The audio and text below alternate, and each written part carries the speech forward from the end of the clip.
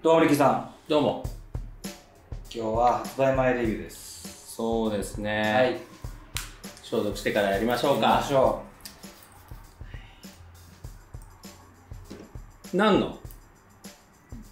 何のですか、今 プラス J。日。じゃあ、はメンズから行きましょうかね、やっぱり。い。メンズからでしょうね。レディースからいっちゃう今度。いやいやいや、それはちょっとね。面白いね、確一かに。応メンズから行きましょういね。きましょうか。はい。はい。じゃあ、まずアウターからお願いします。はい。はい。アウター、はいえーオーバーサイズジャケット14,900円。はい。こちらは、えー、とウールリネはい。ン。上質素材で美しく、着心地は軽やか。はい。シルエットは大きめで今っぽく決まると。なるほど。ユニクロ U でさ、リネン紺の素材さ、はい。ちょっと期待外れだったんだよね。そうでしたっけ？うん。はい。いいシャリ感じゃなかったんですよね。うん。ちょっとな、だからそれもあるんでね、ちょっと警戒しちゃう。ちょっと警戒中。うん。でも今ほら、これ、はい。クラス J のオーバーサイズこうジャケットジャケね。ットか。うん。これ S サイズなんですよ、僕。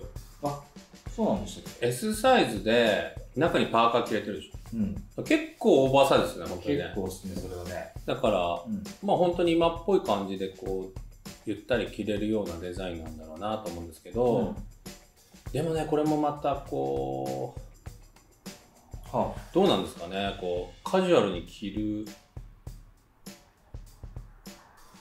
と言われてもっていう感じもちょっとするけどな。スタイリングないんですね。そうですね。ね。今回ね、結構スタイリング弱め。あ、そうですか。うん。はでも一応ね、ポケットもパッチで、はい。外についてるタイプで、まあカジュアルに着てくださいってことなんでしょうけども、はい。うん、ち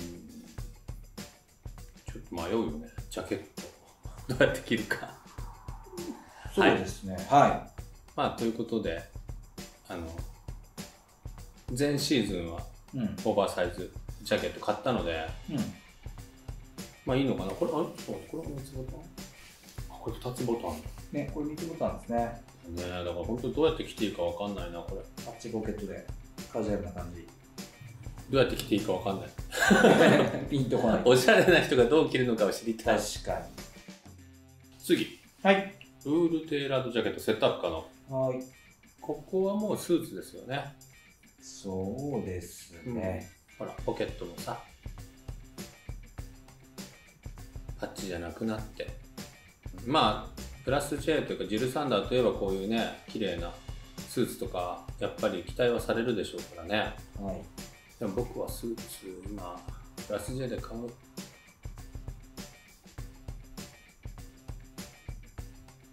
気持ちに。じゃあ次行きますか。そうですね。まあこの辺はなんともうな、そうなんだよな、全然あの、ピンとこないですね。うん全部。はい。はい。ウールテーラードジャケットセットアップ可能。うん。これもまあ同じ型の今度はえっ、と生地違いです違いね。ですね。シャドウストライカーかな。うんまあでもここら辺はね、はい何しろあでもこれあれですね。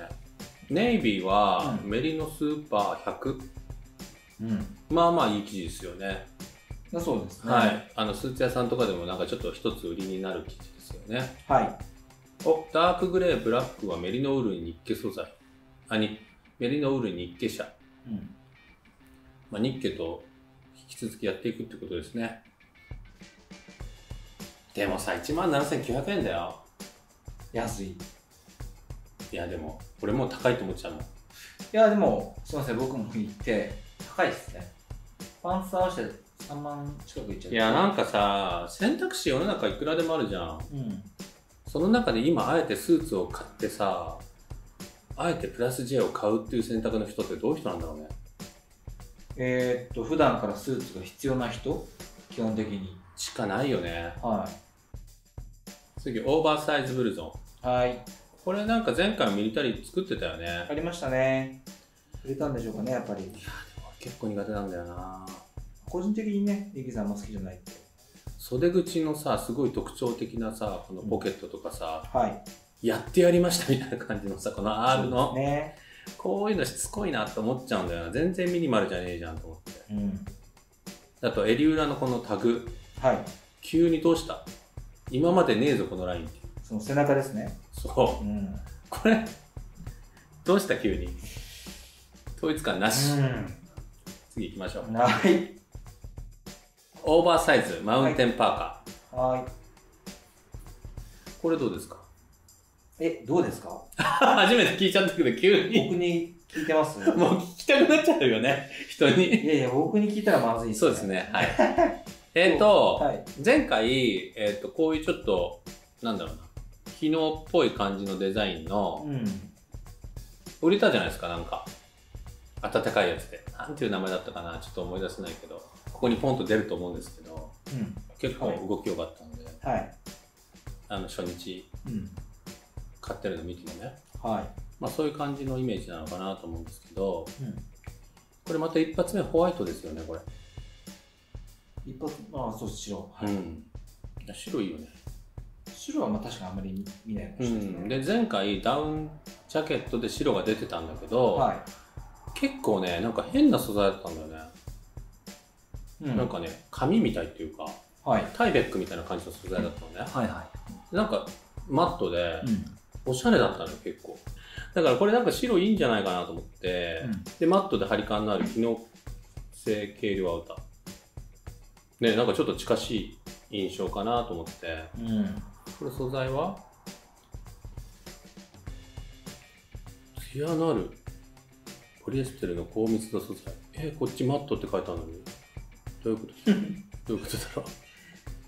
えどういうこと？どういうこと？もうやめてよ迷っちゃうからさらに あとさ今更言うけど、はい。今までって俺買う程度やってたでしょ？は買いたいか買いい。たくないか買いたいか分かったじゃないかか。うん。ちょっと考え方を変えて、うん。今家にある私のワードローブは全て忘れた上でこれが欲しいか欲しくないかをちょっと語ることにすることにしましただってこれ持ってるしなとか思っちゃうじゃん例えばマウンテンパーカー持ってたらさマウンテンパーカーいらないなと思っちゃうじゃんそうですね。買う程で言ったらうん。もうでは家には何も服がない程でいきます僕ははい。フラットに欲しいか欲しくないかだけでいきますはい。わかりました。ちょっとね自分が買うっていう程でいくとそこがどうしてもネックになっちゃってこれ持ってるしみたいな次オーバーサイズ、フーデッドハーフコートこれなんか見るとシワっぽいねなんかなんかちょっとこう、そうですね。うんなんかこの感じの素材が良さそうな気がするねでもなんかどうなのかね もうプラス J に俺は何を求めていいかがわからないよそうですね。オーバーサイズステンカラーコーはい。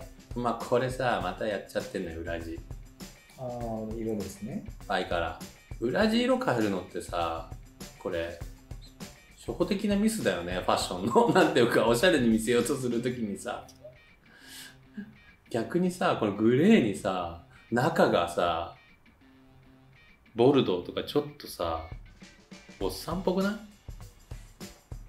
前回それ言ってね、僕はかっこいいと思ったので、信頼ですみたいなコメントありました、ね。そうだだからあんま否定的なこと言っちゃいけないい次や、別にいいんじゃないですか。オーバーサイズフーデッドロングコートはーい。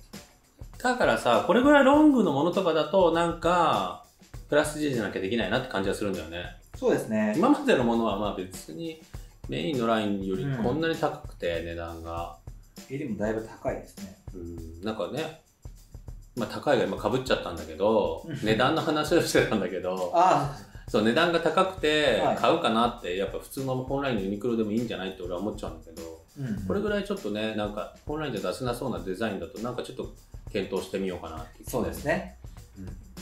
いやでもこれやっぱ白かな。白いいななんか、白って結構、ちょっと勇気がないと着れない色ですしね。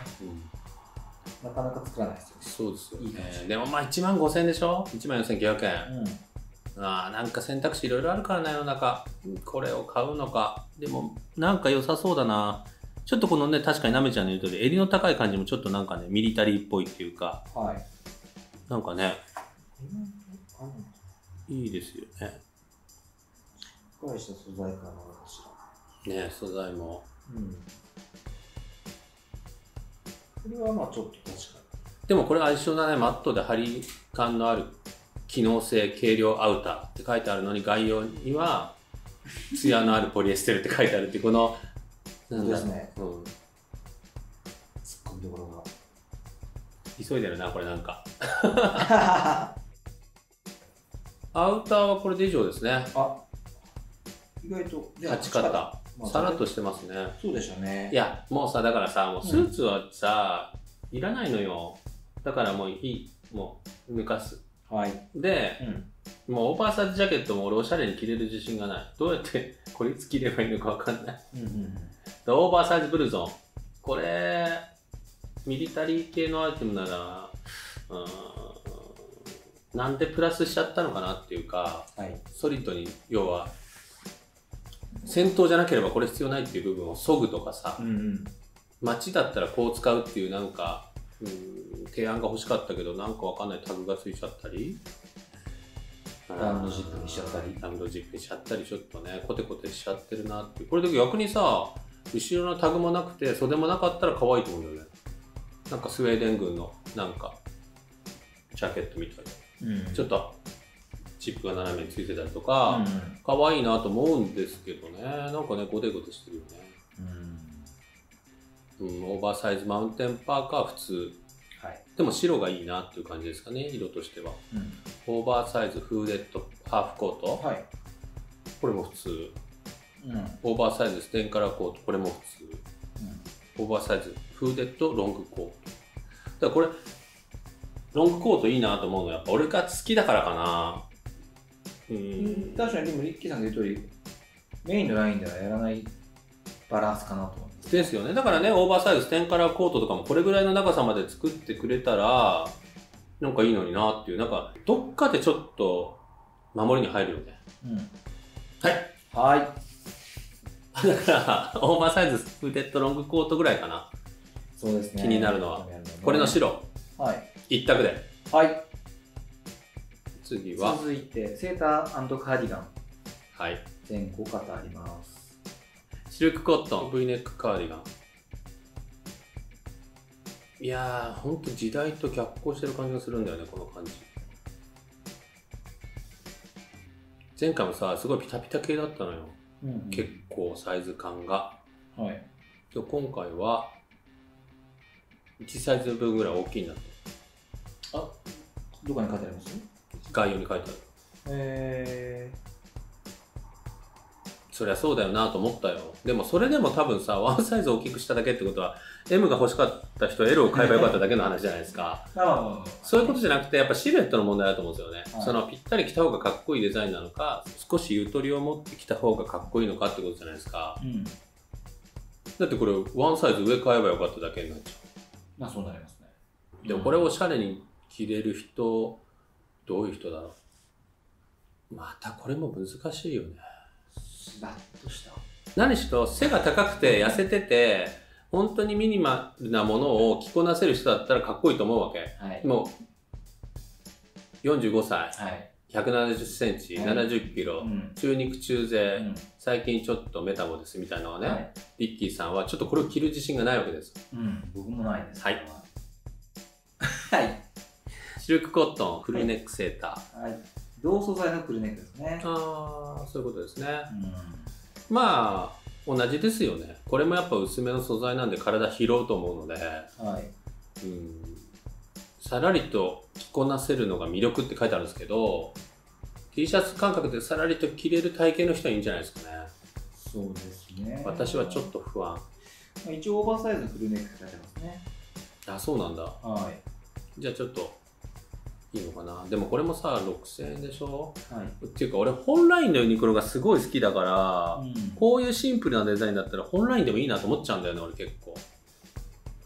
確かにオンラインで買えないエイトっても素材化な。のかなやっぱり繊細さ。そうだね、ん。シルクコットン、はい。クルーネックセータうん。ー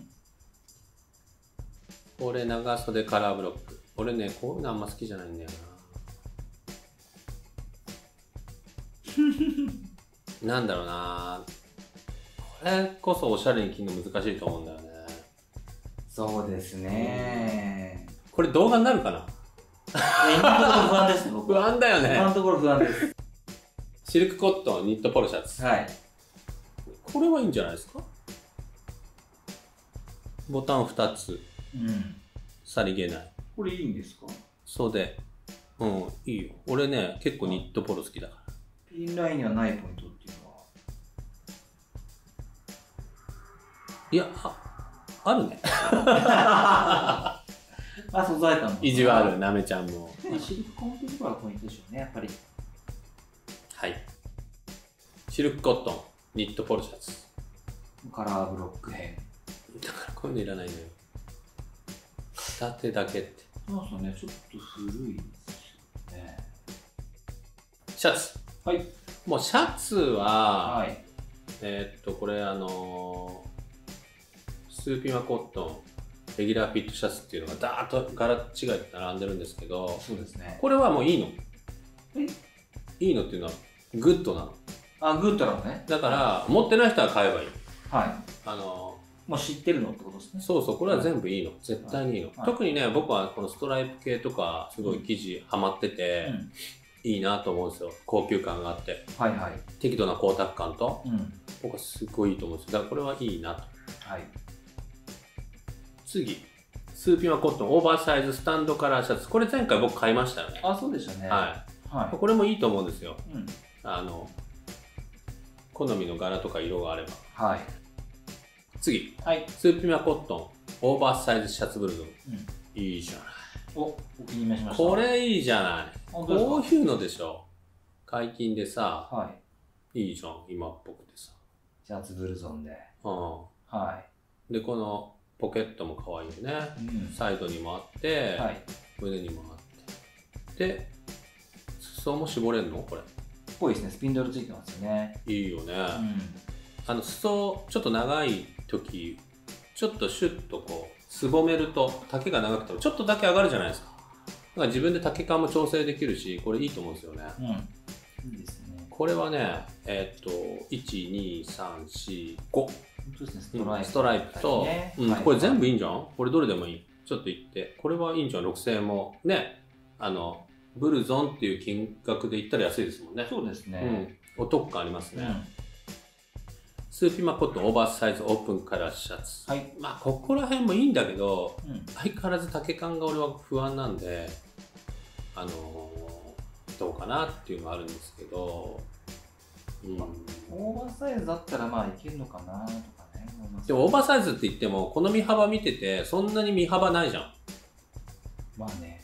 この感この感じってことですよね。うん、世の中のオーバーサイズっていうものに関して言うともっと身幅あると思うんだよねだから結局縦長になっちゃうような気がするんだよなラインがうん一つ背がちっちゃい人はきついんだよな、はい以上をシャツでしたがなぜかシャツ側にねこのね、ブルゾンっていうのが入ってて シャツブルゾンね。うんそうそうこれもうねなんかアウターでもいいんじゃないかなっていうぐらいああ、春ですもんね。うんこれが一番いいこれはちょっと欲しいかもしれないなよかった。いやこれ綺麗なんじゃないかなよかったよかった。うん次はい。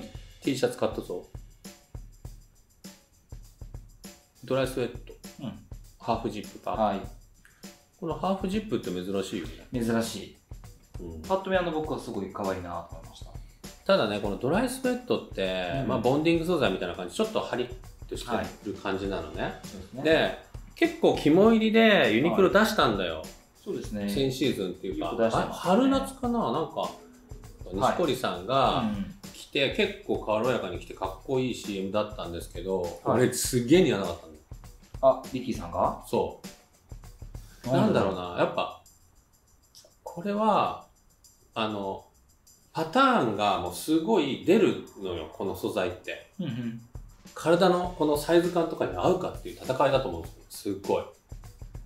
苦手だ。苦手っていうか、もう本当に着てみて、体に合うパターンになってるか、その人の。うん。だから万人に合うものではないと思うんです。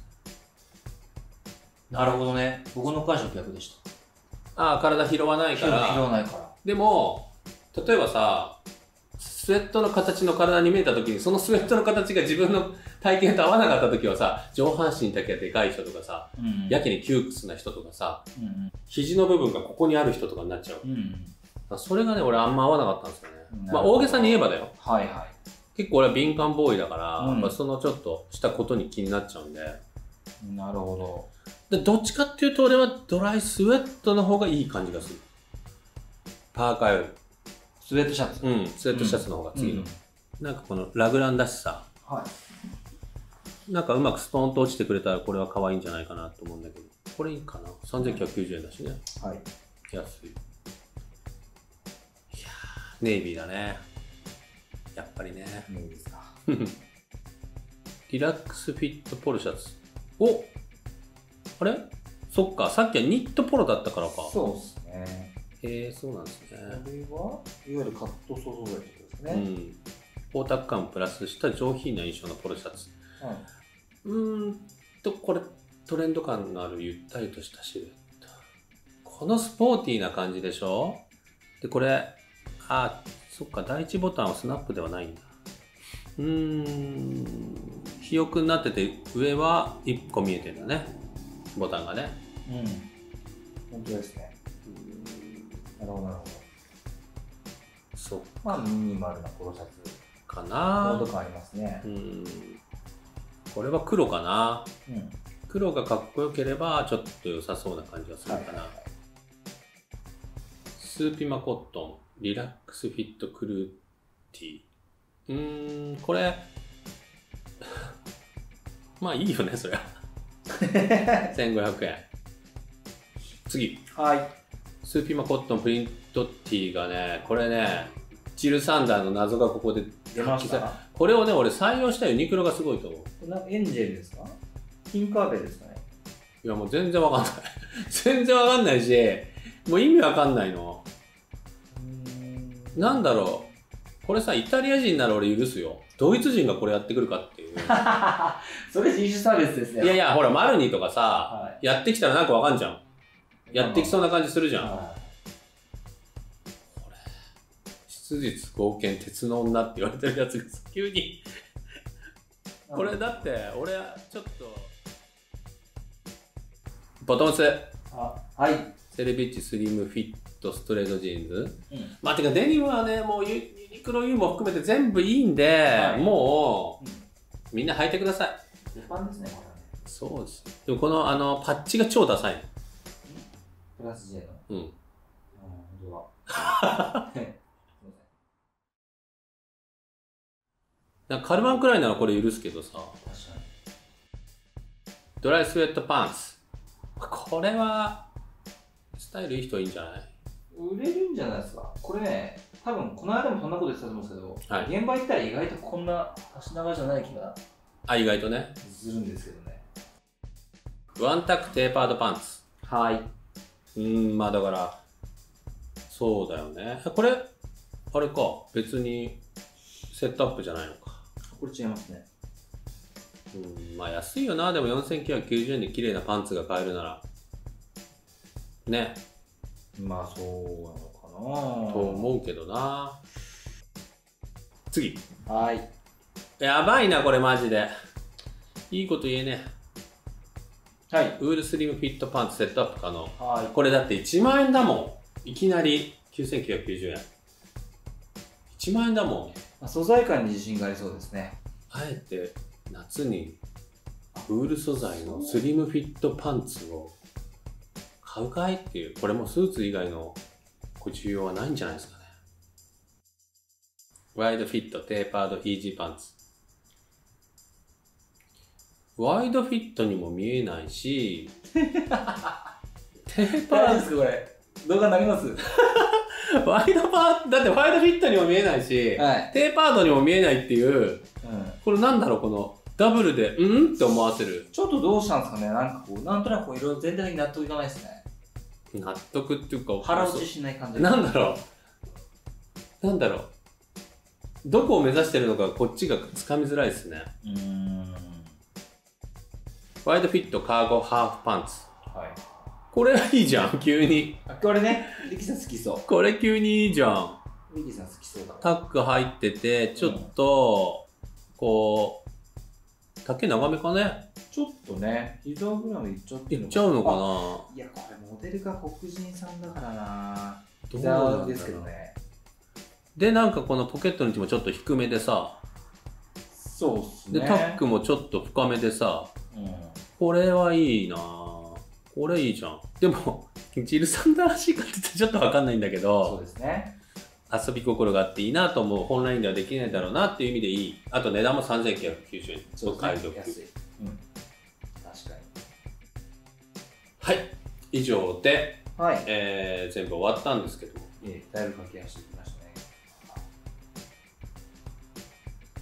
どうでしたか、リッキーさん？あー、ちょっとプラス J が何なのかがよくわかんなくなっちゃったっていうか、わかります。プラス J って何？って、うん。やっぱメインのラインですらさ、やっぱミニマルで、はい。あの、ライフウェアを追求してると思うんですよ。うんもうメインのラインがすでに。その上でプラス J が何を表現できるんだって言った時に僕が求めるのは、はい。なんかプラスアルファじゃなくてさらにソリッドなものなんですよ。そうですね。確かに確かでもこれ結構プラスアルファアルファされちゃって、に。はい。アルファアルファになっちゃって。もうプラスアルファですよ。確かに。あ、J じゃなくて。じゃあまたじゃあまでね、いた。つもならさ、レディースもやるじゃないですか。やりますね。ただね、今回ね、うん。レディースもね、うん。そんなに僕実はうん。気になる商品がないんですよね。あ、そうですかいや、ちょっとね、本当にね、今回は俺の中で不作なんだよな。そんなこと言っていったらまた、そうね、それを期待するしかないね。もう行ったら意外とこれ良かったから買っちゃったよっていう笑顔がはい。みんなに見せたい。期待してますよ。なんかね、全体を見るに、はい。素材がね、結構頑張ってる風の雰囲気な気がしたんで、いつもより。はい。実物見たらいいかもしれないですよ。そうですね。うん。じゃあちょっと本番。19。はい。何も僕は物を持ってない体で、うんこれは買ってもいいなと思ったものは買います。あ、ありがとうございます。はい。持ってるからいいやってことはなしってことね。なしってことにしわます。かりました。はい期待してます。はい。じゃあまた。じゃあまた。でチャンネル登録なんかもできるみたいなんですけどもリキさん的には絶対してもらいたい動画の高評価と絶対してもらいたいグッドボタンを押してもらう絶対してもらいたいじゃあ絶対ってことで